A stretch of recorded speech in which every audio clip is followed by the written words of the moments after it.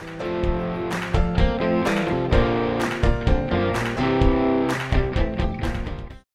and welcome to today's live session, the first live session of this online training. Uh, I'm Rajat Sengupta. With me, we have Kiran Pandey here. So uh, before we get started, uh, I'll just quickly take you through uh, the course structure. Uh, so I'll just share my screen. And uh, so if you have, you must have received the online username password. So basically what we have right now is uh, there are four um, modules that are there. And the four modules uh, we will be, so in that four modules, what we will be going through is the first would be the theory part of uh, the training.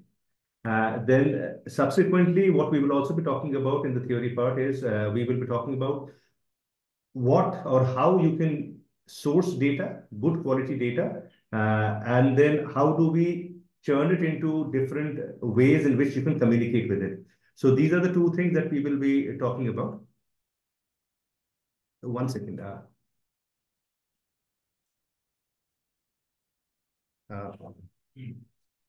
uh, just one second. I'll just again share my screen. Yeah, so we can see the screen over here. So so these are the four modules that we have. Uh, so we have got module one, which is already live. Uh, it, it, it, talks about uh, SDGs, it talks about state of environment. It also tells you briefly about uh, the ideas with which Center for Science and Environment operates. So this would be all theory. Uh, then in module two, we'll get into something more concrete in terms of uh, how to find the right kind of environmental data. So we'll be talking about how to source data, what are the good sources, what are the bad sources, what is the good quality of data. Uh, then in module three, we will be talking about how to process the raw data that you've collected. And when I say process and anal analyze it, I broadly believe um, what I mean is analyzing it for communication. So this is not uh, primary research or, or it is not uh, an analysis for a, for a paper or so. It is just for communicating. So what kind of information is critical to have maximum impact with your target audience? It can be uh, people within the organization. It can be people outside your organization. It can be your boss. It can be people that you that you work with on a daily, daily basis, the communities that you work with. So basically how to communicate complex scientific data, which usually is a challenge when you're dealing with climate change and, and the science behind it and how to communicate it effectively. That is basically what we will be dealing with in module three. And in module four, what we will do is based on the analysis that we've done in terms of what is it that we want to give out, we will create data visualizations and we will create uh, maps, interactive maps and dashboards. So the modules will have small uh, videos in there. Uh, which will be dealing with the theory part of it in terms of where to use a graph, where to use a chart, where to use a map, when to use uh, all three of them together, when not to use them. So the theory part of, it, of why we will be choosing different visuals and what kind of content goes along with it in terms of text. Whereas the live session, there'll be three live sessions. Uh, the three live sessions will talk about, so there are two uh, software that we'll be dealing with over here. First is uh, Microsoft Power BI. Uh, so the live sessions will only be dealing with the softwares. Uh, the reason being that learning a new software usually takes time because bulk of the time would go into understanding where is this button, where is the file button, where is the publish button, where is the analysis button. So that is the only reason why we have the live sessions around the two. So basically, we'll be teaching uh, or we'll be touching upon Microsoft Power BI. We'll be touching on Microsoft Power BI enough for you to get into an advanced levels. We will not be touching at the advanced level. We'll be talking about the basics, which would help you create interactive dashboards using Power BI. Also, we will be teaching another uh, uh, tool called Data Wrapper. Data Wrapper is an extremely powerful tool. Uh, so we will also be touching upon that in the third live session. So in the first live session and in the second live session, we will be dealing with Microsoft Power BI which is basically a dashboard. A dashboard, very simply put, basically means that normally when we look think of Excel, we create one visual at a time. So we can have a bar, then a separate chart, a separate table, a separate graph. In a dashboard, you can basically get all of those different units into one place. and you can basically create a correlation between them. So when I want to look at India information, I can, uh, the pie, the chart, the graph would also change accordingly. So in the first session, we'll be talking about how to prep the data, which if you look at your modules, it is basically module three. So we'll be starting with module three in the live session. And then in the next live session, we'll be talking about how to create visuals with it. And then finally, we'll also in the third live session talk about a tool called Data Wrapper uh, because it is excessively easy to use and it is wonderful for creating maps, uh, interactive maps, district level maps. If you want to create, you can create district level maps in a minute, in a few minutes. So that is a power of that and it would all be interactive. I'll just quickly take you through uh, what I mean when we talk about uh, dashboards. So there are three Excel sheets that would have already been uh, shared by uh, uh, Susan that all of you would have access to. Based on the three Excel sheets, you don't have to go back and look at it right now. So we'll be looking at the three Excel sheets uh, individually. I have created a dashboard which is like this, which basically, if you look at it, I'll just quickly take you through. So we have a headline. Uh, the headline is over here. And what the story that I'm trying to tell is that uh, the story of historical emissions, which basically talks about how developed countries at one point in time in 1980s, 90s were responsible, uh, not in 1980s, in 18th century and, and the early 19th century, were responsible for bulk of the carbon dioxide that has been emitted in the in, in the world uh, today. And that is one of the reasons why we are facing climate change right now.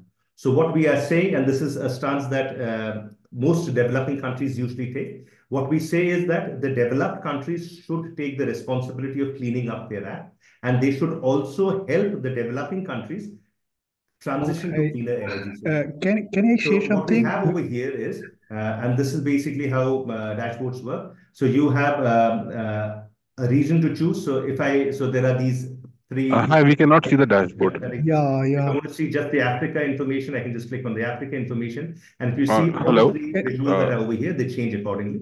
You don't have to worry about what these visuals are right now. But this Hello? is basically how a Hello? dashboard looks like.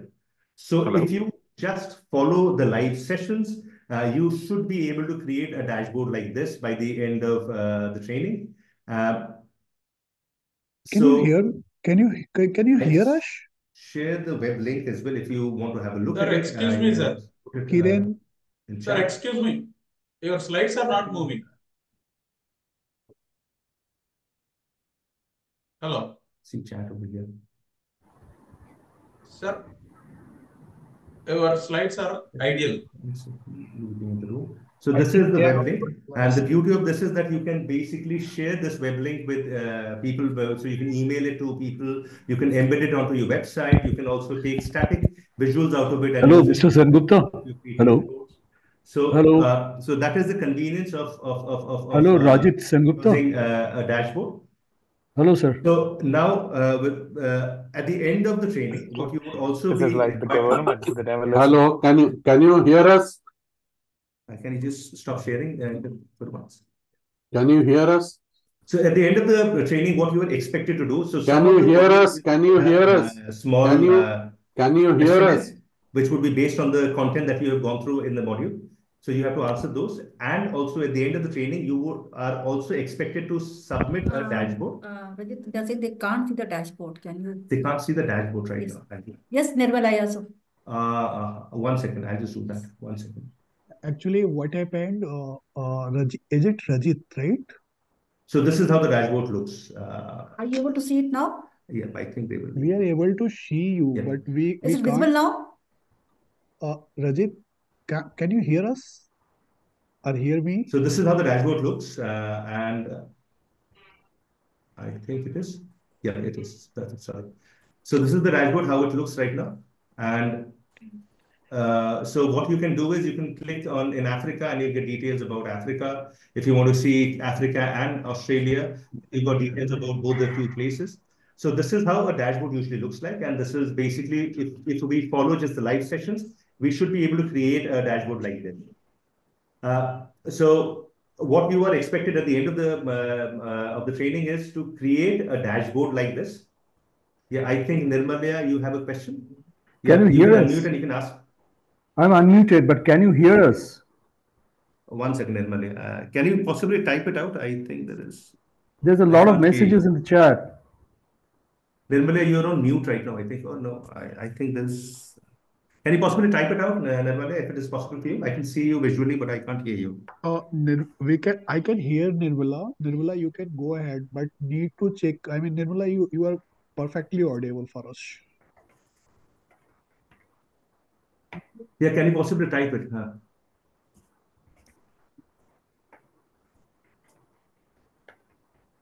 So we will be sharing the the the, the dashboard, uh, uh, the the, train, uh, the the video with everyone over here. So you don't have to worry about that. Yeah, I'll just wait for a second here. Yeah, please go ahead. Thank you. Yeah. So, uh, so what we were talking about is that what you will need to do at the end of uh, the training. So you have to create a dashboard like this, ideally with your own data sets, uh, which is what is preferred, or you can just follow what we're showing in the live sessions uh, to get a hand of how to use Power BI.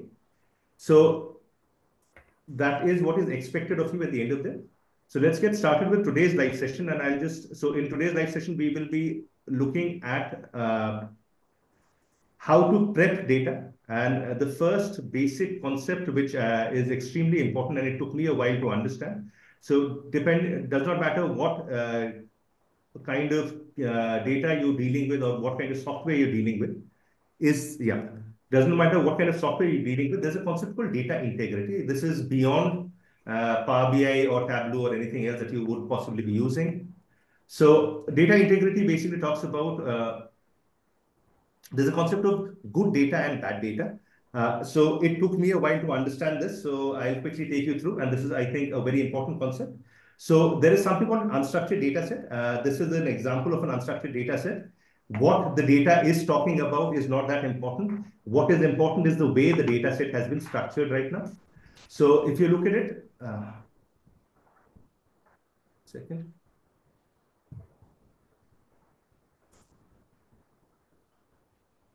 Uh, is there any problem with the way we are going about right now? Uh, has written that he is not able to understand what is happening. Am I audible? Is everything making sense right now? It, it would be better if you uh, write it down because uh, I, yes.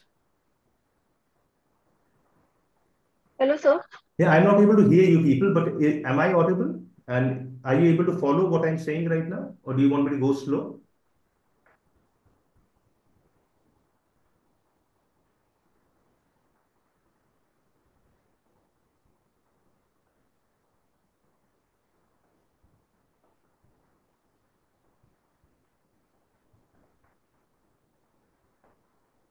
Okay, perfect, perfect, perfect. So in the intro, I'll, I'll start from from scratch again. I'll quickly quickly uh, go through the scratch uh, the start again. So what I started off with uh, was uh, I was talking about the structure of the training that we have.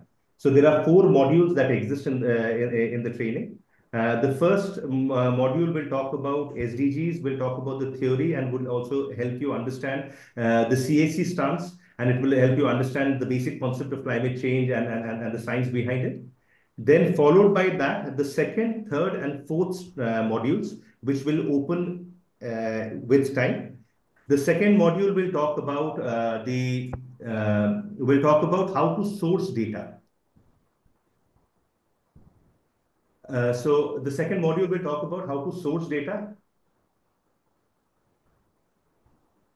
And the third module is basically once you have sourced the data, how can you analyze the data? And the analysis would be uh, on the basis of uh, how to make it interact, uh, how to uh, communicate it effectively with your audiences. So in that, uh, what we uh, will create is in the final module, we'll touch upon that, is we will teach you how to create a dashboard like this. So this is the dashboard that we will be creating in the live sessions. So the modules will also have the theory part of this, uh, basically where we will be talking about what kind of visuals to pick up, how much data is too much data, how little data you should go with, how to structure your statements, how to write uh, about data-driven stories. So the theory part would be there in the module through different videos. And the live sessions, we will be talking about two softwares. So one is Power BI, Microsoft Power BI, and the second is a software called uh, uh, Data Wrapper. So in the first two live sessions, first one is right now underway, and there'll be the second one that will happen uh, in a couple of days. We will be talking only about Microsoft Power BI, which is a dashboard, is, is a, a BI software, business intelligence software, through which you can create dashboards like this. So this is basically an interactive dashboard uh, based on the three Excel sheets that have been shared with you at the uh, before the uh, the start of today's live session by Susan. So this is basically an interactive dashboard and end users uh, can actually interact with this data and they can call out the portions that are relevant to them. In the last live session, what we will be talking about is another software or another tool called Data Wrapper. It is much more easy to use than Power BI, and it is also extremely effective for creating maps, for creating interactive tables. So if you want to create a district level map, so there are 700 different districts in India. So if you want to create a district level map, if you have the raw data, it takes not even, it takes around five to 10 minutes to create that uh, interactive map on Data Wrapper. So we will be touching upon that. So in this training, what we will be touching upon is we will be touching upon the theory that, that in, in terms of how to communicate effectively data pertaining to climate change and, and, and, and, and, and, and the scientific data that you would be dealing with. Along with that, we will be teaching you two uh, softwares. One is Microsoft Power BI, the other is Data Wrapper. The reason why we are going in for two softwares is basically because everybody has a different requirement. If you have the requirement for a software like Power BI, then you should definitely learn it. Otherwise, for most of the people, I think even Data Wrapper would suffice. So depending on what uh, it is that you need, you can basically uh, pick and choose. At the end of the training, all of you are expected to submit a project work, which can either be what we are we are covering in the live sessions, or it can be a data set that you use at your workplace, and you can use that data set to create uh, something as well.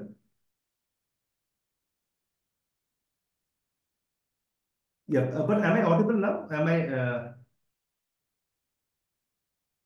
I have done it uh, because there are two uh, speakers over here, so otherwise it becomes very difficult uh, to manage. Uh, one second, if you really want, uh, so.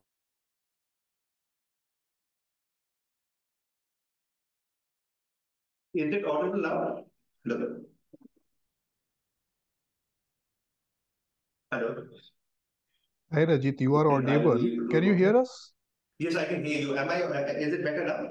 You you are audible, Rajit, but the session is completely one-way session. It should be ideally the interactive, like like you can't hear us uh, because uh, you your pace is very fast, and uh, uh, most of the I mean the our colleague are joined uh, maybe quite of uh, late, five minutes or two minutes, so completely they are not able to understand. Yep. So am I audible now? Uh, I I go a little slow. I can hear you now as well. yeah, now you can go ahead. Thanks, thanks, Arun. Yeah, I can hear you all now. Yeah, perfect. So what I was talking about is now we are in the first live session, we'll be talking about how to prep data. So one of the basic concepts when you're dealing with data is to understand the concept of data integrity. So data integrity is the, so I don't know whether it has happened to you. So when I started off with my journey of data uh, driven communication, there would be times when a data set that I would get from, let's say, government source, I would be able to create graphs around it and it would read perfectly fine. But there would also be times when I would try to create a graph or a chart or a table and everything would be all muddled up. So the, the, the accesses would be all over the place. And for some reason, it would not really work out. So the reason behind that was basically the way the data was structured. So when I talk about a good data set or a bad data set, it basically means how the data set has been structured. So that concept is, so there are two kinds of uh, structures uh, that are popularly, uh, popularly available. The first is called an unstructured data set. Uh, this is an example of that. This is the cancer registry of India. So different cities within India, how many cancer cases have been reported over there. And there is also a breakup of male, female, and total for two different years, 2009 to 11 and 2012 to 16. The numbers are not important. What is important is the way it is structured right now. So this is a classic example of an unstructured data set. It is human friendly. So for if I were to ask you, can you tell me where the, the Delhi numbers are or where the Mumbai numbers are? You can easily tell me that. So unstructured data set is good for human uh, uh, human consumption. However, it is very bad for uh, any software, be it Microsoft Power BI, be it there are other softwares like Tableau, even Excel to some extent struggles with it. So for any software that you're dealing with, where you're dealing with a big chunk of data, which basically is what we are, uh, you should be able to be comfortable with uh, at the end of the training as well. So if it is an unstructured data set, the first logical step is to convert it into a structured data set. So if this data set where you can see, so why is it an unstructured data set? I'll tell you that. For human brain, it makes sense. But if I were to ask you, uh, where do I find the data for 2009 to 11? Uh, your answer would be uh, that it is across three, uh, three columns, C, which is the male data, D, which is the female data, and E, which is basically the total of the male and the female. Similarly, if I were to ask you, where will I find the male data? Uh, the same thing you would say that the male data is available in column C for 2009 and 11 and column G for 2012 and 16. For human brain, it makes absolute sense, but for a computer, it becomes very complicated because there are three. So all computer softwares, they work row-wise. Uh, sorry, they work column-wise. And each of the columns should only have one kind of data. So if I were to convert this into a structured data set, I'll just zoom in again. It's the same data set that we saw, a little bit, uh, a little refined. Uh, so if you look at it now, if I were to ask the same question again, uh, where will I find the cancer cases? Now the answer is the cancer cases are available only in the F column, all the cancer cases. Where will I find the years? The years are available in column A. Where will I find the gender? It is basically male. After this, there will be female entries, and then there would be male and female entries for the subsequent uh, year. Uh, so basically, this is how a structured data set looks like. A classic example of a structured data set is basically if you ever visit an office and at the security, the security office, uh, the security guard over there will help you fill up a register. So if you think of just try to visualize the register over there, uh, the register would have the first column would be name, the second column would be who you want to meet, the third column would be at what time you are coming in, the purpose for your meeting, your phone number, and at what time you're leaving. So that is a classic example of a structured data set. So each of the individual column only has one kind of data, as opposed to what we saw initially over here. Uh, years are split over CDE, GHI. Gender is split over column C and column G. So this becomes a problem. So whenever you have this kind of data set, so this is your end result. This is basically you are taking a lot of data set and you're compiling it into a table which is human friendly. So this would be your end result. However, for analysis, any form of analysis, this is a bad structured, uh, it is an unstructured data set or a bad kind of structuring of a data set to, start, to begin with. So we will talk about how to convert an unstructured data set into a structured data set as well. Uh, so another example of this is also over here. If you look at it, this is the COVID-19 data that uh, that WHO used to come up with during the uh, during the pandemic years. So if you look at it, in column A, you've got the date. Column B talks about the country code. Column C talks about the country. Then the new cases come up over here. The cumulative cases, the new deaths, and the cumulative deaths. So basically, this is how this structuring has been done. So whenever you have an unstructured data set, your first step should be to convert it into a structured data set. One of the reasons why you might or might not have experienced it uh, while you're dealing with uh, small data sets in Excel is because sometimes when you have only one kind of data, let's say I only had number of cases or I only had data for only one year, and the total, then it does not matter what kind of structured or unstructured data set you're dealing with. So it basically by default becomes a, a, structured data set because the data set is small. So uh, a structured data set is a logical flow. Uh, it is excellent for computational analysis. It is machine friendly. It allows us to uh, make uh, unstructured data, uh, allows us to make unstructured data or human friendly data. So it helps us create tables which are human friendly and it is usually it is easy to keep things uh, granular data. So it does not matter how much data you have it is much more easy to keep it uh, if you have a structured data set. Because if you look at it uh, uh the first one that we looked at uh, over here the same data set is spread across column A and it goes till about I. So it is much more bulky as opposed to the same data set when converted into a structured data set, it basically starts from column A and it goes till about F. So filtering becomes more easy. Uh, finding different kinds of uh, levels of analysis becomes much more easy because it is much more compact in, in, in a way. So this is one uh, basic idea that you should remember when you're dealing, when you're looking at data and you, when you're looking at data for analysis. Uh, I'll just stop it over here. Any questions pertaining to structured and unstructured data? We'll talk about how to convert an unstructured data into structured data as well in today's session itself. Any questions about this? Otherwise, I'll move on to the next uh, presentation. I'll get started with the next presentation. So one of the tools that we'll be teaching is uh, called a tool called Microsoft Power BI. It is BI stands for Business Intelligence Tool. Uh, there are many other BI softwares available in the market as well. If you are already well versed with any other BI software, then I don't see a reason for you to learn this because they are all very similar. Uh, there are so because uh, so uh, so what a BI software basically does, and this is very important, why uh, so why BI is better than Excel in a lot of ways, is that BI allows you to get data from different sources. Excel being just one of the data sources, you can take data. So let's say you've seen a, a table on a website. You can take that table from the website. Then you found another table that is there in a PDF that you've come across. You can pull it from there as well.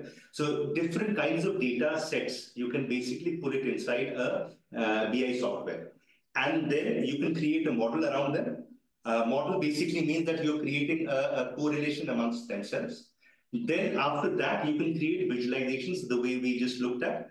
And then finally, you can share uh, it either uh, you can create PDFs or images, or you can create a unique URL, which you can either share it through email or you can share it, uh, you can embed it onto your website as well. So you can also share it. Uh, so I just give you another example for you to understand what, what it means. Let's think about, uh, let's think about an organization and where it keeps data. So if we talk about Rajat Sengupta, so Rajat Sengupta's, uh, let's say, uh, financial details, how much money he earns every month in the organization, that let's say exists with uh, with uh, the accounts team. So the accounts team has an Excel sheet which has information of Rajat Sengupta, Kiran Pandey, and all the other people who work in CSE. Then let's say what kind of how frequently or how disciplined Rajat is in terms of does he come regularly to office, does he not? So there's another Excel sheet that exists with the HR team. So there are two different Excel sheets right now. One is with the accounts team, one is with the HR team. What kind of performance Rajat uh, has been able to achieve? Is he uh, a good performer or a bad performer? Is he meeting his targets? That would exist with, let's say, my boss. So my boss also has an Excel sheet where he or she ticks, okay, this is what Rajat had to do in this week or this month, and he has done it. So basically, another Excel sheet has been created over there. And then let's say, let's talk about uh, the personal details, where he stays, whether he's married or not, uh, how many how many kilometers he travels every day. All of those information is again available with, the, let's say, HR department. So if I want to understand what kind of individual, or if I want to create a dashboard of my employees with Rajat Sengupta as a, uh, one of the employees, I would ideally have to look at four different data sets. They can be four different Excel sheets. They can be in any other format as well. But effectively, to get a holistic picture of what Rajat Sengupta is, or whether his performance is good, whether he should be given a raise, whether he is uh, a disciplined worker, you would need information from all the four places because how much money Rajat is getting decides what kind of pay grade he is in, or whether he should be given more raise or less raise whether he is meeting the targets, which is coming from his boss's Excel sheet, decides whether he should be getting a raise or not, whether he's coming, traveling a long distance or not, whether he has been with the organization for a very long or not. That also has an impact on whether he should be getting a raise or not. So basically, different kinds of data sets can be brought in. When I talk about modeling, model basically means that Rajat Sengupta would have a unique employee code. That would be the model or that would be the entry on the basis of which the different data sets are basically tied together. So you're pulling out the data, uh, the Rajat uh, Sengupta's information from all of these individual Excel sheets. And then finally, You can create any kind of visualization that you want to create uh, around it. You can have a bar chart, a graph chart, a table, or any other, uh, or multiple visualizations as well. And finally, you can actually create, uh, you can share it. So you can create a PDF or an image or anything else that you want to do uh, along with it. So this is the power of BI tool. Microsoft Power BI also allows to do that. So does not matter what format your data is in. It can be a PDF, it can be an Excel, it can be in an SQL format, it can be there on a website you can basically pull those things from different places and get them at one place for you to analyze it. Because all of those individual data sets would be giving you a different insight into what you want to talk about.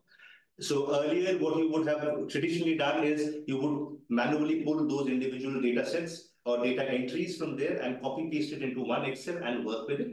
In a BI software, you don't really have to worry. And the final and the most important reason why I uh, personally prefer the BI software over Excel is that tomorrow, let's say we have created a dashboard of Rajit in 2024 or in 2023 with all of these information. So as and when the, raw data is updated, so every month my boss is updating the data set. Every year my uh, accounts team is also updating the data set. So once the dashboard is created, I don't have to recreate it. All I have to do is there is a small button called refresh. You click on the refresh button, the new entries that have been added, they just come into the dashboard in one go. So you do not have to recreate the model over the, the dashboard over and over again, even if you want to create it once every year. So it's not like one year later, you again start from scratch. So that is one big convenience of a, soft, of a BI software. You Once you've created the broad framework, all you need to do is update the data set. So uh, Microsoft Power BI uh, is a BI self-service BI tool. Uh, there are three components of Power BI. Uh, there's something called Microsoft Power BI Desktop, so there are the, these three components that exist. Uh, one is called the, this is the one, Power BI Desktop. This is what we will be installing onto our computer. This is the software on which we create the dashboard. Beyond that, we also have Power BI for mobile.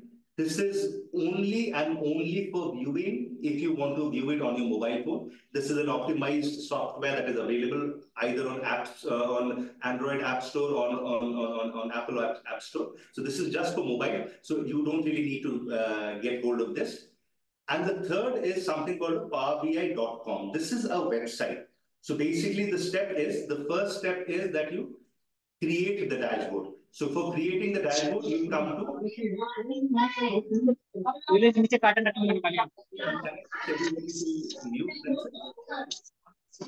ये वाला पूरा निकाल ले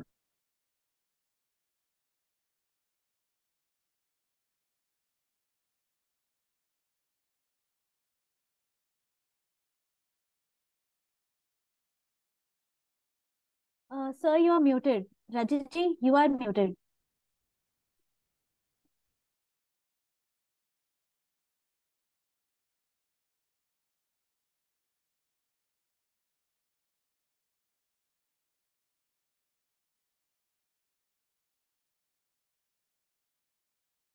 Yeah, thank you. Uh, one second. Yeah. So once we've created the dashboard, then we will publish it on microsoftpowerbi.com. So it is the website in which, like you create a Gmail account, you will also create a powerbi.com account. And over there, once you publish it, you can share it with your uh, within your organization and in an email, or you can embed it again and do all the other things that you want to do. Uh, so there are now uh, I, there are two caveats with Microsoft Power BI or two limitations for Microsoft Power BI that you should know. First is the fact that because it's a Microsoft product, it only and only natively works in a Windows laptop or a desktop. So you would need a Windows laptop or a desktop to run Microsoft Power BI. Uh, it would not run on an Apple uh, uh, laptop. It would not run on a Linux laptop or a desktop. So you need a Microsoft or, or a Windows laptop or a desktop to run it. If you want to run it on Apple, I, there are videos available. So you have to install a software called,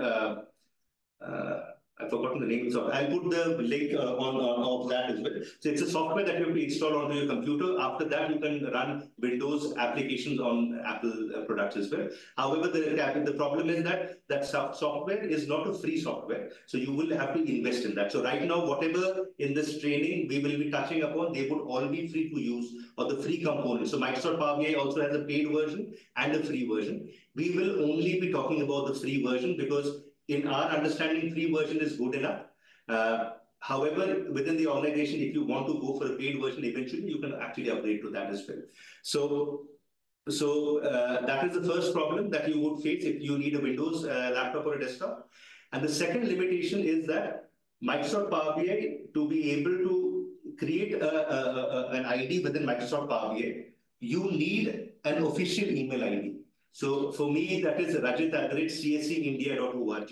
So it can't be a Gmail or an Outlook or a, or, a, or a Yahoo account. You need an official email ID to create the ID on powerbi.com. So basically what it means is you can create the dashboard, but you will not be able to publish it online. So for that, you need a, a, a, an official email ID. It can be any official email ID, any organizational email ID would work over here, but you need an official email ID to be able to use it. Uh, having said that, uh, let's move on uh, to Microsoft Power BI. Uh, before we do, uh, in fact, we can do that right away. In fact, so how do we install Microsoft Power BI? Is you go to your marketplace. so in your Windows, you will have a marketplace. Microsoft Store is what it is called. So when you go to Microsoft Store, and it opens up. In Microsoft Store, you have to search for Power BI Desktop. You would also get the mobile version over here. You might get other Microsoft uh, plugins as well. You have to install Microsoft Power BI Desktop once. So you just click on search and you click on Power BI and it takes you to Power BI Desktop. So I have already installed it onto my computer because it takes a little while. Uh, however, once you come up over here, you just have the you'll have the install option. Uh, let's just wait for it to load. You just have to install it for the first time. And then subsequently, the way you would, so it is written open over here. You can see that it is written open in my case. In your case, it will say install. And it also, there is also an update that is available right now. I will not update it right now, but you can also update it eventually. So once you've installed it, the way you open Word or any other software on your computer, you will come up over here and you will have the Power BI option uh, over here. Yeah. Over here, you have the Power BI option that is over here. So when you click on Power BI, what happens is it opens up. So this is how Microsoft Power BI looks. So for the first time, you might get a, a welcome message as well and some tutorial along with it. But this is how Microsoft Power BI looks. Uh, so we would want a new report. I'm just clicking on the new report. And this is how the interface looks. We will go through each and every component slowly and steadily. Uh, what we need to understand, this is how the interface looks. There are three uh, important tabs that exist over here. Uh, the first is you can see this dotted line that is over here. This is basically the canvas. This is basically the place where you will be creating the visual. So right now the dashboard would be a rectangle shape because this is the way it is. You can make it any shape you want. You can make it into a square. You can make it into an A4 size, a landscape or a, or, or, or, or, or a portrait mode. So you can change this the, the, the size of your dotted line and it would be dependent on where you want to eventually publish the dashboard. So if it is basically uh, a dashboard that you, or, or, or, a visual that you're creating for uh, a specific place on your website, then you can ask your web developer to give you the exact dimension that this pixel, this much pixel uh, and this first pixel, pixel, you can actually create it and customize it accordingly. By default, this is the size, the size it comes, 16 to 9 ratio is basically what it comes in. Beyond that, uh, there are these three tabs over here. Uh, first is called the report tab where we are right now. This is basically where you create the visuals. This is where you create the visuals. This is, if you look at it, this is the Excel kind of a tab. This is basically where you see the raw data. And finally, this is the relations on the model tab. So if you have multiple data sets that you have imported, you can create relationship over here. You would not spend too much time over here because usually Microsoft Power BI creates a relationship on its own. There would be times when it is not able to create it. If that happens, then you have to manually come up over here and, and, and create the relationship properly. So these are the three places uh, where you will be toggling. So this is called the report view, this is called the table view, and this is called the model view. And um, and And over here you you got the canvas, and then uh, over here this is also important. This is the visualization tab. We will not be getting too much into too much details right now because in the next slide session we'll be doing dealing with the visualization. But these are the popularly available visuals. Most of them are self-explanatory if you look at it. Uh, so you've got different kinds of uh, visuals that you can create. And finally, you've got the data tab. So once you've uh, imported data, you can see the data over here to create the visuals. I'll just stop over here and I'll quickly jump onto the three Excel sheets that we had. Uh, so I'll just, so that we know what Excel, what we are dealing with. So there are three Excel sheets that were shared with you at the beginning. Uh, these are the three Excel sheets that have that will be used to create the visualization of the dashboard that we will be doing over the next this slide session and the next one as well. The first is this Excel sheet. You don't have to open it if you don't have it already. Uh, so this is basically, so we are looking at the greenhouse gas emissions of these different regions. Africa, Australia, uh, Eastern Asia, Eastern Europe, Europe in total, aviation and shipping, and the other places as well. So these are the regions, uh, the data exists for them. And these are the year-on-year -year greenhouse gas emissions that have happened. These are the annual greenhouse gas emissions in billion metric tons carbon, uh, carbon dioxide equivalent. CO2e, and these are for the different years. Uh, so this is the first data set that we'll be dealing with. Can anybody tell me whether this is a structured or an unstructured data set the way it exists right now? Uh, you can just type it or you can just uh, say it. Is this a structured or an unstructured data set right now? Unstructured. This is an unstructured data set. Uh, anybody else who wants to pitch in or thinks otherwise? I, I think it's structured enough because uh, the objective is to have data per year. So we have X and Y axis uh, uh, headings are anyway telling us what the data is about. So that's my my view. Perfect. Thanks, thanks, Nirmal. Uh, so uh, the right answer is that this is an unstructured data set. Uh, this is a quasi-structured kind of a data set if you really want to put it this way. Uh, so what we will need to do is we will need to, so this is the example of the same data set in a structured uh, format. There'll be only three columns. We'll have the region column, we'll have the year column, and we'll have the greenhouse gas column. Because right now, the problem is that if I were to ask you where is the greenhouse gas data, you will see it is spread across five or six or 10 different columns from B till I don't know how long it goes. And within that, these data exist. So ideally, it should be into this. This is the format that we will create it, region, year, greenhouse gas emissions. So this is the first Excel sheet that we have. Uh, I just minimize it. Let's move on to the next Excel sheet. We'll try the same thing. I'll just quickly tell you. So this Excel sheet talks about uh, the historical emissions that have happened and the share. So again, the same regions. Uh, there are two different sources. Uh, one is called uh, LU, LUCF, that is basically land use and uh, land use change and forestry. So basically forest works as, as a carbon sink. So if a lot of afforestation happens, then carbon dioxide is basically taken back into the, um, into uh, the ground. And the FFI stands for fossil fuel and industrial emissions that happen over here. So these are the two different sources which have been looked at over here. Uh, and historically, from 1850 till 2019, what has been the share? So for Africa, this is 1.9%. Uh, for if you look at the bigger countries, uh, it will be much more. Europe is 15%, Eastern Asia is 10%. So this is basically percentages again. Is this a structured or an unstructured data set right now? You can either type it or you can tell me.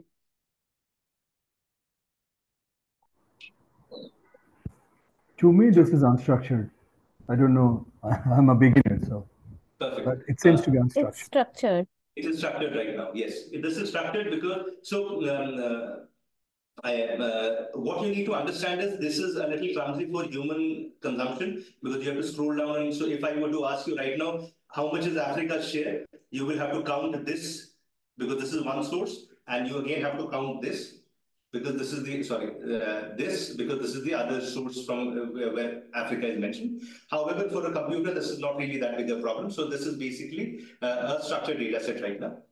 The, the third data set that we are going to use is the per capita emissions. So we've looked at the current emissions, annual greenhouse gas emissions. We have looked at the historical emissions as percentage in total. And the third is, this is basically a, the per capita emissions, like every individual. So if you, the total emissions divided by the total population gives you the per capita emission of the same regions. So again, the two sources, FFI is fossil fuel and industries, and LU, LUCF is land use and land use change and forestry. Uh, so tons CO2 equivalent per capita. And there are some other sources as well that is mentioned over here. Uh, so is this a structured or an unstructured data set? If anybody wants to have a go. Unstructured. This is an unstructured data set. Okay, perfect. This is an unstructured data set that is also, that is in a way, yep, this is an unstructured data set. Uh, so a structured version would be like this. You've got the source, you've got the values, and you've got the region. Perfect. So uh, I'll stop over here. So these are the three data sets we're dealing with. So what we will be doing in today's session is basically we will learn how to get it into Power BI and how to edit it similar to what you would do in Excel. So we, we look at the Excel plugin of Power BI. Uh, so that is what we're going to do. So the first thing that we need to do is, uh, perfect. So the first thing that we need to do over here is get data. So if you look at it on top, there is an option called get data. Similarly, there are there is a, a, a, shortcut for Excel workbook, and there are some other popularly available data sources. Uh, it is all right if you don't know what these data sources are. I also don't know all of them. I don't know what OneLake data hub is, but I know what SQL Server is, and I know how to manually. So enter data is a manual way of entering data. So if you want to copy paste your data from Excel, if it's a small data set, you can also enter data. Dataverse is also there. So I'll just show you. So the, the first step is to get the three Excel sheets into Power BI. So how do we do that? We click on get data. So when we click on get data, it opens a, a window. Uh, so if you look at it, this is the list of different data sources from where you can get data in Power BI. Uh, usually, in my experience, you would not be using more than three, four, because that is basically where your data source would normally be. What I find important in my work, so this is uh, called web. If you look at, so in the web option, you can put the URL where the website exists and you can just pull the Excel sheet from there. There is also a PDF version over here. So you can, if you have a PDF on your computer or you have a PDF online, you can basically import the PDF and work with it. Uh, the reason why I'm not using them over here is because the website and also the PDF, a lot of time goes into cleaning up the dataset once you've imported it. Cleaning up effectively means that there would be structural problems, there would be hidden um, entries that would come in, blank entries that might come in, two of the columns might get merged. That might have happened to you if you have ever tried copy pasting something from Excel into a uh, Word file or from Word file when you downloaded a, an Excel, a Word file or a copy pasted something from uh, an email to a Word. You would see that the words are broken and all. So that such formatting issues happen when you are jumping between different platforms. So with the PDF and with the with with with with, um, the website option, usually you have to spend a lot of time prepping the data. And uh, so uh, we are using only Excel sheets uh, for this, but we, I will be uploading small videos in, uh, in the module as well to take you through step by step how to import PDFs and, and, and, and um, uh, web as well. So we want an Excel, uh, Excel sheet. So we click on this and we click on connect. So it asks me where is the Excel sheet. I say that the Excel sheet exists over here. So let's pick up the first one and I click on open. So what happens now is it is trying to import it. So Power BI by default tries to look at it in terms of a table and tries to, so when I say table, it basically means that it's, it assumes that the first uh, row of each column. So the first row is basically the column header. So if you look at it, uh, it's not very important, but I'll just take you through. So over here are the two sheets that exist. This is the raw data, which basically we'll be importing. This is the sample, which I basically showed how to structure or make it unstructured. Then at the bottom, if you look at it, it tries to create a table. So if you use Excel, in Excel, you also again have the option of creating a table. It broadly does the same thing. It basically cleans it up on its own. Uh, I normally don't use it. Uh, I prefer starting from scratch. So when you click on it, you can see the difference over here as well if you want to have a look at it. Uh, so over here, the first column is not the header. First column is called column one, two, three, four, five. Uh, let's see what it has done when it goes to the table.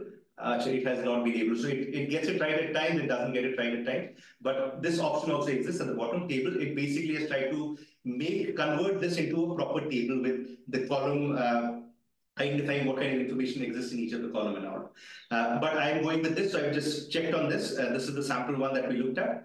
All your sheets will come up over here. The sheet that you want to import, you just click on it. You can have multiple sheets imported as well.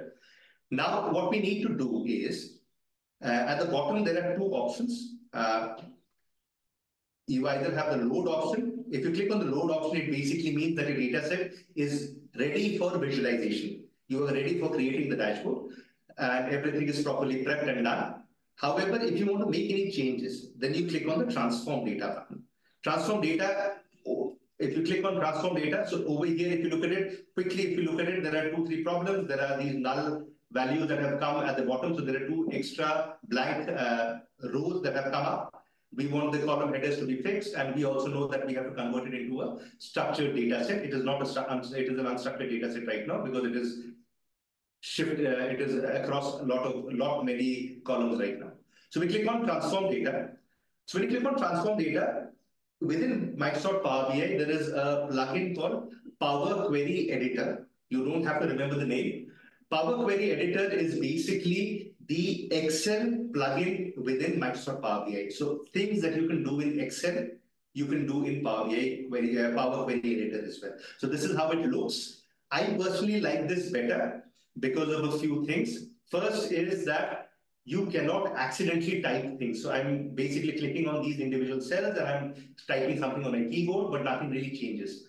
So if you've ever dealt with big data or if, if you've dealt with a sizable amount of data, you would know that accidentally a zero gets added or a comma gets added here or there. Or, and if you if there are six, seven people who are working on the data set uh, together, like in within my organization, we have uh, we have like five, six different people who have collected the data. Then by the time it comes to me, I see that spellings are all over the place. Uh, typos have been added over here and there. Dates have not been fed in properly. In this, you cannot accidentally type it. So if you want to change anything, you have to basically do a control F and replace it. You have to find it and replace it. That is one thing that I really love about this. So you would not accidentally introduce errors into this. The second thing that I like uh, is that this box over here is called applied steps. So whatever changes I will be doing to my data set, be it that I'm deleting a few rows, that I'm uh, making the first row the column headers, uh, or any other changes that I'm doing, uh, changing the type of data that exists, or I'm converting it into a structured data set, they will be added here, one after the other. So if I come back, uh, let's say a week later, I would exactly know what are the things that I've done. Similarly, if I share this, uh, this uh, Power BI file with you, you will know exactly what Rajit has done. Why is it important? If I have introduced some error midway, in the sense that I've done, done some calculation and it has got the numbers all over the place, this will happen to you when you're starting off with Power BI or with any BI software for that matter. Uh, so you can basically debug or you can go back and see what are the problems or where exactly the problem might have been have corrected. So I love this applied steps. So all the steps, so right now it says source. Source means that it has imported it from some source, then some navigation has happened and it has changed the types. So it has tried to identify what are each of the column types. So it said over here, if you look at it, it says that these are ABC, that means it's a text. Then 1.2 is it's a decimal kind of a number and, and, and blah, and blah. So it has basically tried to identify the types and it has assigned them. Now, this is one thing that I really love about this. Uh, the third thing that, that exists over here is uh, on the left-hand side, raw data is what it is called right now because that was the name of the sheet. You can change it to something else. So this is basically, I can double click on it and it is called GHG emissions. uh, annual. I'm just keeping it uh, this way right now. So as and when we keep on adding different Excel sheets, they will keep on getting added over here. So the first one is here, then the second one will come, the third one will come, and you can basically toggle between them. You can jump between one or the other. So that is the other thing that you can do over here. So your sheets will come up over here. This looks like an Excel sheet right now over here. So this is exactly how the Excel sheet works. And over here, this applied steps is what is important. You know exactly what has been done with this. Now, another thing that I like about this Query editor is you can see the blue line at the bottom. This basically tells me if there are any errors in the column. So if I hover on top of it, it tells me that there are 14 valid entries and there are four empty entries in this. If there were any errors, errors in terms of if, let's say, in a in a number, uh, if the column only has whole numbers, and it has got some text in it. So it will show as an error. If there is a type mismatch, data type mismatch, then there will be an error over here. So it will tell me that there are so many errors over here. In this case, we don't have errors. So you can basically, it tells you exactly how it is. So now let's look at, yeah, uh, Siddhi, uh, you have some, any question you can ask me? Yes, uh, um, I am trying to understand the jargon here. Is the whole Excel sheet called a query? Um, No, so it's uh, so this is called Power Query Editor. If you look at top, it just says Power Query Editor over here. This is the name Yeah. that it is called. That is all there is to it. It is the Excel interface of Power BI. Nothing more than that is important. I don't know why it is called Power Query Editor, but the, everything that you can do in Excel, you can do it over here. okay. Does that answer it? Yeah, okay, okay. Yes, thank Yeah. you. Thank you, thank you. Yeah. So what are the things that we need to do? We first need to remove the extra rows at the bottom. These are blank rows, and then this is just the information of what the data is all about. So we need to delete these. Let us just quickly see what are the other things that we need. Then uh, the last, the other thing that we need to do is there is something called a grand total. So usually it's a good practice that you avoid any form of uh, uh, totals, averages, all of those things.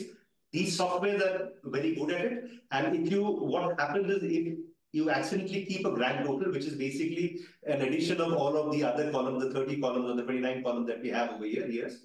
What might happen is when you are creating a visual, there is a chance of double counting. So what normally you should do is you should avoid these and while you are creating the visual, you have the option of finding an average, a mean, a mode, uh, the grand total and everything else along with it. So it is a good habit to not have grand total.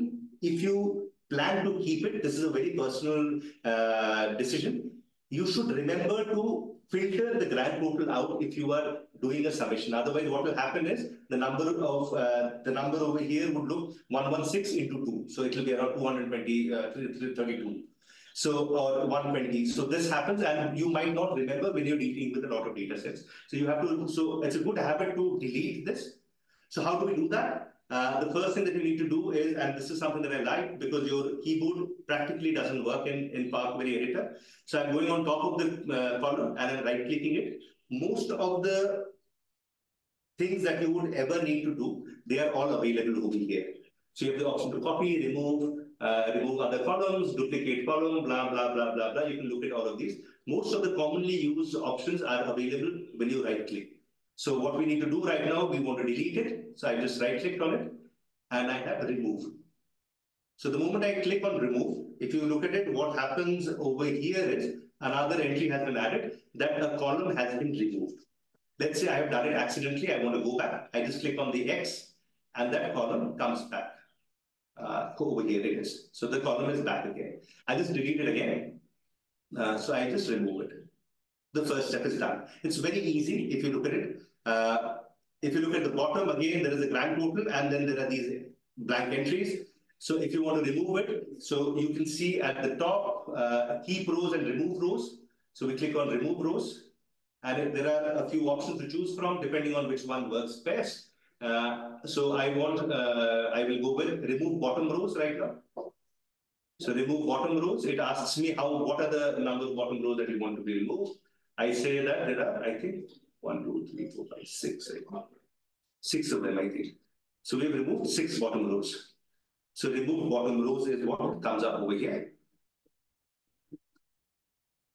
Now, in BI, otherwise this is good, otherwise there is no problem with this right now. Uh, if you even look at uh, the, the, the, blue uh, patches at the bottom, they show that there are 12 entries and all of them are valid and there are zero errors. Back one second, let me just go back. I think I might have, one second. This is one, two, three. No, I was good. It was. Uh, I'll just do that again. I thought I accidentally removed one column from bottom. So I just checked it.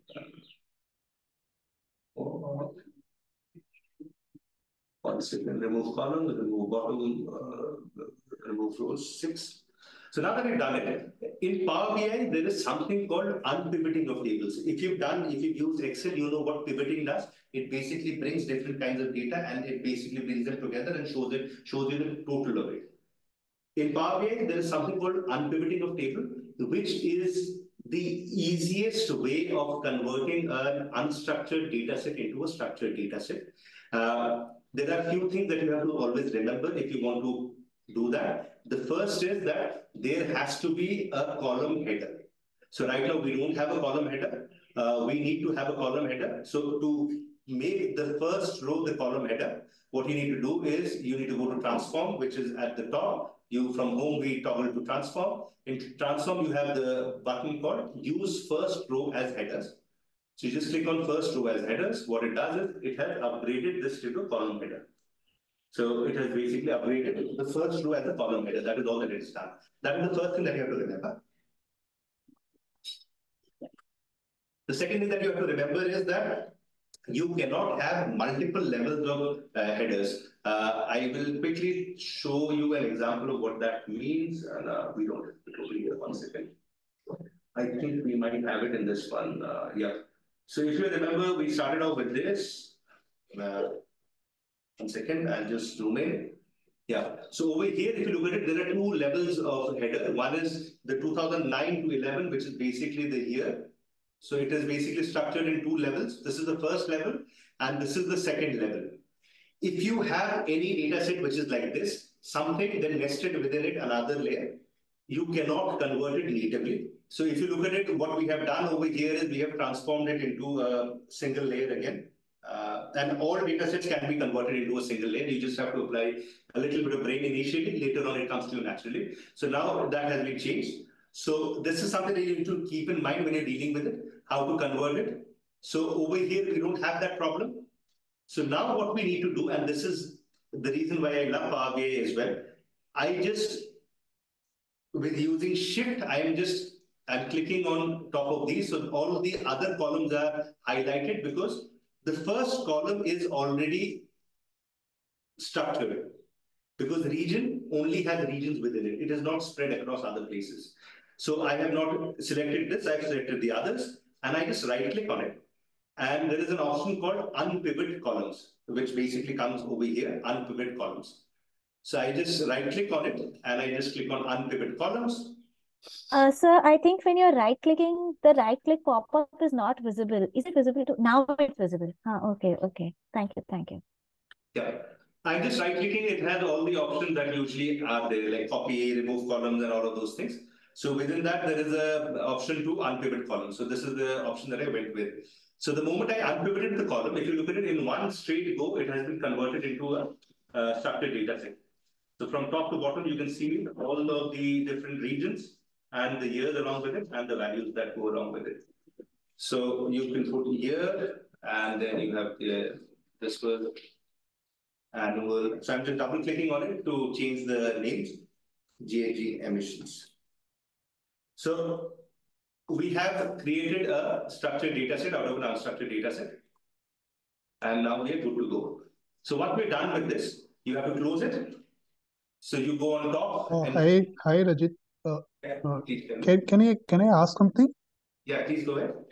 Yeah. So in region there is alphabet. ABC means that is alpha al alphabets, right? Okay. And uh, if you are scrolling towards the uh, uh, like the column one point, is it mean by the this is numeric value? The cell have contained the all numeric value? Uh, you're talking about the year column right now? uh, not uh, one. Yeah, 1.2. There is a 1.2.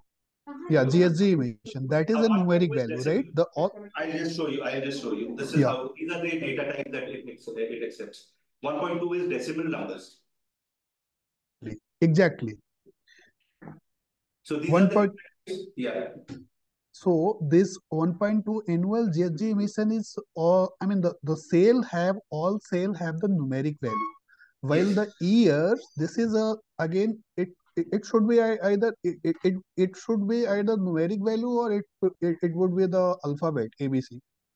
Uh, so uh, there are so the, with numbers uh, with with year it, it depends on how you want to go about. Uh, so uh, we'll just uh, talk about this a little bit in detail. The reason why I kept it as as as as, numbers as, an alphabet right now is because it doesn't make any difference. So I wanted to pick up as 1990 as a unique year. There are two three ways of handling it. This might not be the best way of going about, but for the visualization, it will take 1990 as a unique, 1991 as a unique, 1992 as a unique. Does not matter whether it's a number or an alphabet, because we are not adding them up in any way. We would not be doing any form of uh, operations on top of it. Uh, what they normally say is the best way of going about is converting it into a date type. What it does is when you convert it into a date type, it basically picks up 1st of January for that year. So ideally, what you should do is you might change, want to convert it into a date type, remembering that it is basically the first of that year. Yeah, yeah, yeah, got it. But it really doesn't matter uh, as long as you know what you're taking. So it's a decision that you take. There is no right answer to that. What you pointed out makes sense. Why would you want to keep uh, a year, which is a number, in, as, as, as, as an alphabet, uh, right? So you can convert it into this. Let's keep it this way, then we'll keep it, we'll change the other Excel sheets as well. Because Okay. Uh, it would not make any difference over there. Does it make sense? Yes, Rajat, thank you. Thanks. Uh, so uh, then we click on Hello, close. and sir. update. Sir, can yeah. you please repeat the last last step? Uh, the last step, uh, uh, Dr. Yes, what. I do is, uh, yeah, uh, we will be sharing the video as well. So uh, you can go through it. Otherwise, the next Excel sheet that we are importing, we'll do the same thing again over there. I'll, I'll, I'll Okay, okay, talk about that. Fine, sir. Because I clicked on uh, save. So I just saved and applied. So once you have saved everything in Power Query Editor, it gets saved and it comes into Power BI right now. So it takes a little while depending on how good or bad your computer speed is. Uh, it is there. So what has now happened is, if you look on your uh, right, this Excel sheet has come up over here. So now I can create visuals using this GHG emissions annual. And you can click on this and the reason why why we were stressing so much about converting an unstructured data set into a structured data set is because the column names come up over here. Had we not done it, we would have had uh, many columns over here, starting from 1990 to 1991, 1992, 3, 4, and all the years till about 2019. So now all of them have been have been combined into a year option over here. So that is the convenience I missed that step actually, uh, by which you uh, converted uh, the years into uh, into a single column. I missed that step actually. I will, I will show it in the next, I will show it in the next sheet. Okay, sir. Thanks, Okay. thanks. Yeah. So now we're done with this. Let's get the next data set. Let's do it a little differently. Let's click on this button now, Excel worksheet, and let's pick up the next one. Let's see what is there in this one.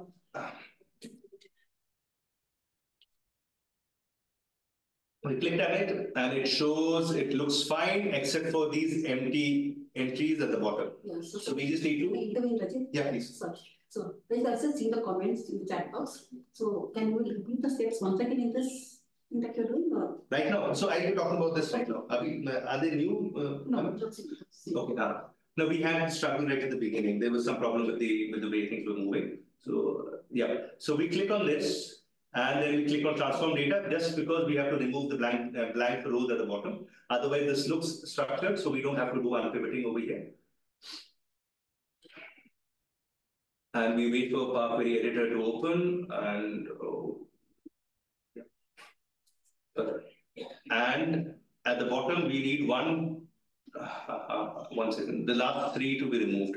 So one, two, three, these three need to be removed. So I again go on top and I go to remove rows, remove bottom rows, and I put three, and I click on enter. So this is done. Okay, over here, we don't really need to change it to here. Anyways, I'll, I'll show that as well once. Uh, so we're done with this otherwise.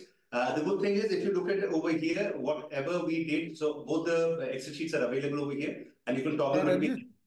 Rajesh, Please show the whole window. Now you are too much zoomed, so we are not able to uh, get where you are moving. Okay, okay. Please show the full whole window so that you know we will have a glance of what's happening. Perfect. Thank you. The full window is available, uh, uh, full window is actually seen. I'll, I'll It not, is- I'll not zoom in for the time being. Yeah, so uh, what I'm doing is I'm toggling between these two. So uh, what uh, the person had asked, and this is basically what I was talking about. Uh, you can see the changes that you've done. Yeah, Can everyone see the full screen now? Can I, I think it will. Yes. Yeah, thanks, thanks, Salil. Yeah, so what I did in the last time was I changed the, so if you want to change the column type, so these are the types that exist in Power BI, decimal, fixed decimal number, uh, whole numbers, percentage, blah, blah, blah, blah. So we changed it to date, not date and time, but date. So that is basically what I clicked. So I clicked on date and it got changed over here. What happens when you put it into date column is basically in, in a date format is it picks up the first. So if you only have year written over there, like it's written 2024. So when you convert it into a date format, it picks up 1st of January 2024. If you had the entire thing, like there is the entry for 1st of January, 2nd of January, 3rd of January, 4th of January, then obviously there is not a problem. However, if you remember in our Excel sheet, we started with just the year. So when we convert it into a date format, it picks up the first of that. So if you look at all the numbers over here, they are basically 1st of January, 10101 90. 1st of January 1990, 1st of January 1991, 92, and so on and so forth. So this is just something that you have to remember, or you really don't have to remember because it does not really make any difference uh, in the way we are going to do the visualization. So that is basically what we did. So what we did was we clicked on the date and we changed it to a date type. Earlier it was showing as uh, ABC as a text format. That is the only thing that we did. So uh, then you click on close and apply because we've done this and we wait for the third uh, Excel sheet to be imported as well. Now the third Excel sheet, uh, and this is something as a data analyst, when you data, you're analyzing the data, I would not call you data analyst because that was what I was about to say. But when you're analyzing data, there are different calls that you have to make, like deciding whether the year should be a text input or a, a date input or a number input. Similarly, or whether you want to keep the grand total or the averages, or you don't want to keep the averages and grand total. Similarly, over here, you will take a choice, a conscious choice in terms of how you want to go about. So we're just loading the last uh, Excel sheet. And we've got the last Excel sheet over here. So I just I checked on the box, I've selected it, and I click on transform data. And uh, again, the Power Query editor would open up.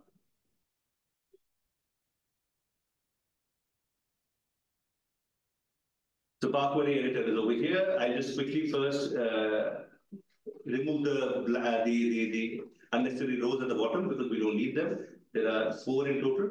So I'm just, sorry, uh, remove bottom rows.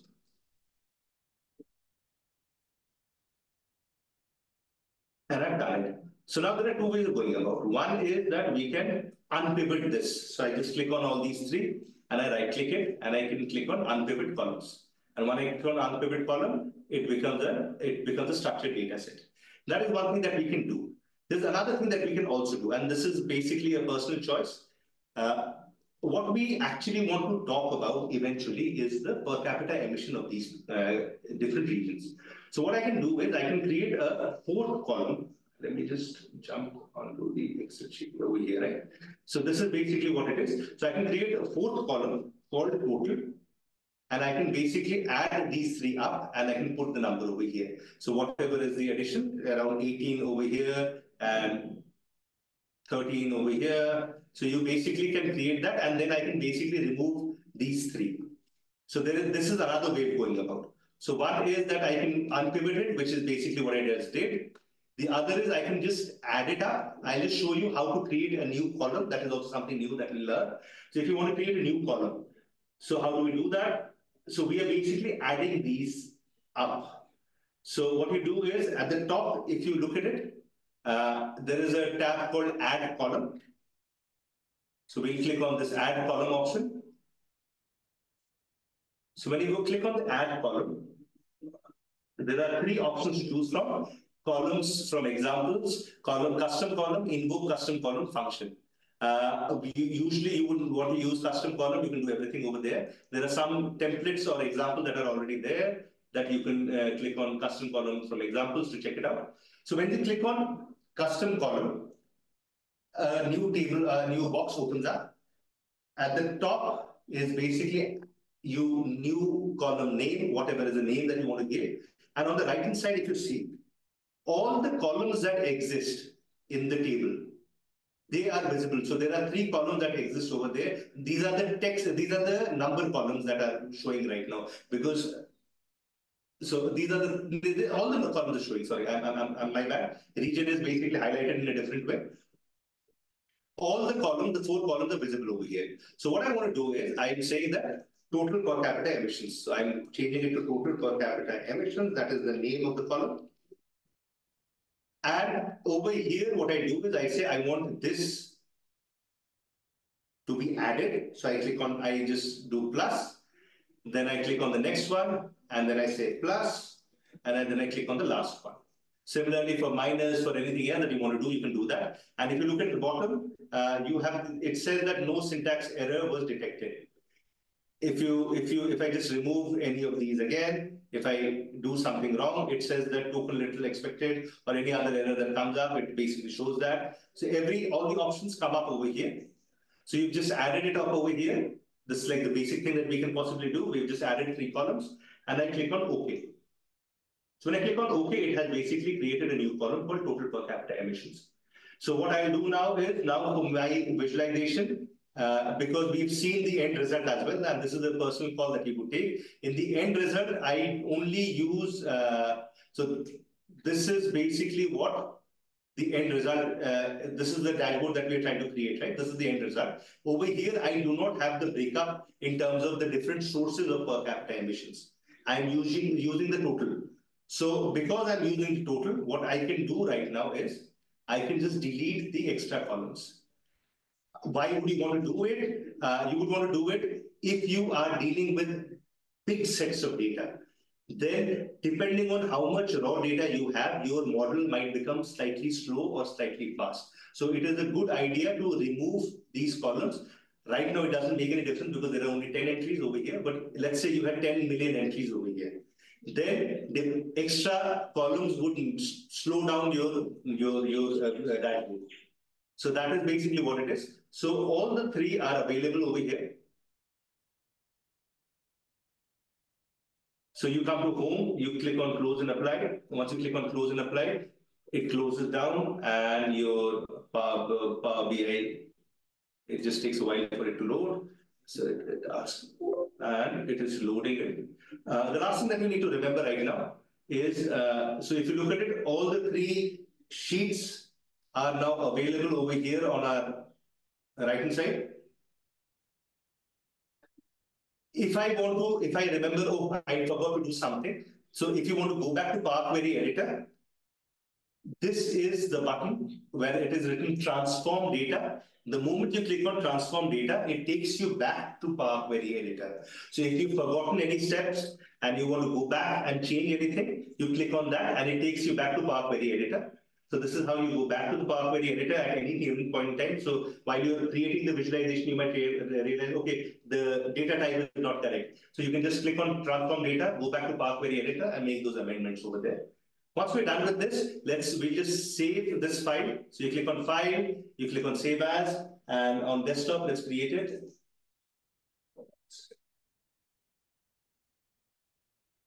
One second. Uh, so it says enter the file name. Let's say uh, test file is what I'm saving it as.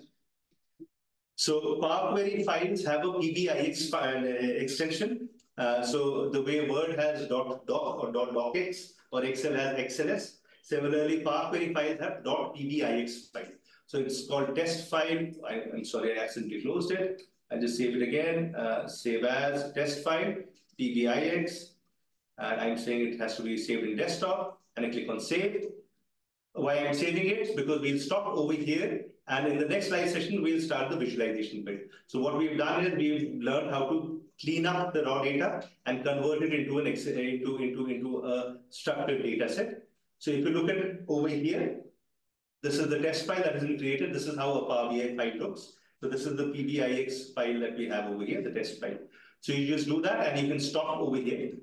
Uh, I'll just stop it over here. If you have any questions, queries right now, you can ask me. We've got two, 10 minutes left. Otherwise, we can wind up for the day.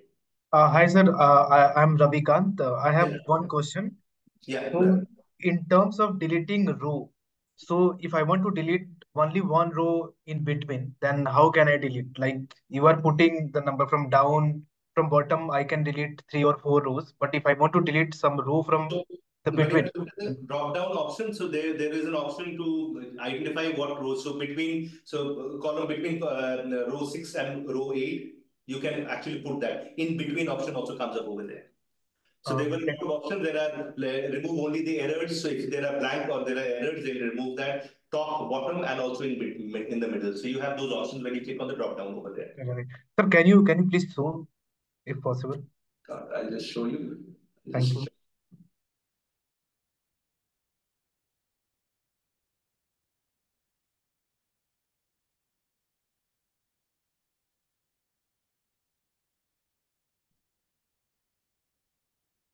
Okay, there is alternate. There is.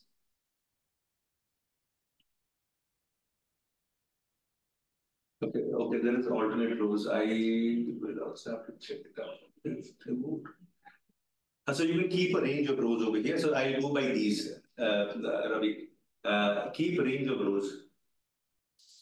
I'll split it down over here. Earlier they had that option. So Power eventually, so every month it comes up with an update. Make the change here. Uh, they might have removed it. Uh, so what I'll do is I'll keep the rows and I'll keep the rows that I want to keep and upper niche wale, the, the, the ones that is above or between, I'll remove them. Does that make sense, Ravi?